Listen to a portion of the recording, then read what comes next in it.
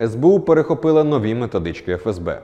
У них російських чиновників вчать правильно хвалити Путіна та коментувати війну в Україні.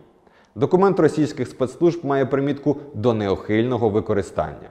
Співробітники СБУ перехопили його під час розсилки секретними каналами зв'язку до федеральних органів виконавчої влади РФ. Саме з цими тезами мають готувати свої виступи російські чиновники, артисти і спортсмени.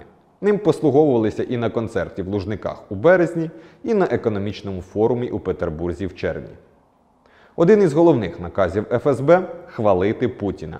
Адже це він нібито не допустив війни на території РФ, якої так хотів Захід, а також особисто захистив Росію від знищення, а росіян від стояння на колінах.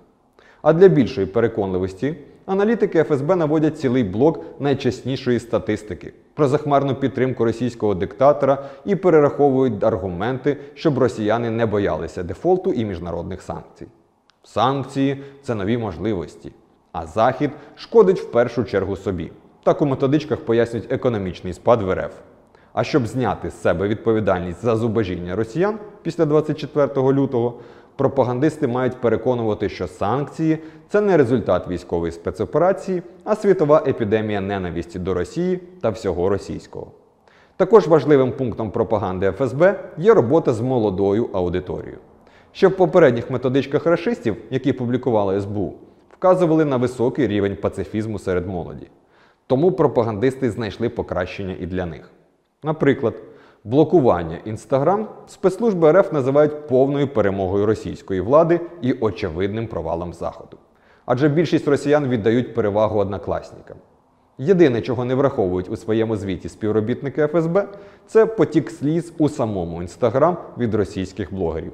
Вони чомусь мають страждати через рішення своєї влади. Додамо лише, що Росія може продовжувати брехати своїм громадянам і розповідати, як у них все добре, чому автівки без подушок безпеки, а полиці магазинів без товарів. Але правда в тому, що армія РФ вбиває мирних українців. А ми всі дуже мотивовані захищати свою країну і якомога далі дистанціюватися від Росії. Тому 4 місяці нищимо ворожу армію, а її втрати в Україні сягають понад 34 тисячі солдатів, тисяч танків, літаків, артилерійських систем та іншого озброєння. І ми продовжимо нашу боротьбу до перемоги над рашизмом. Слава Україні!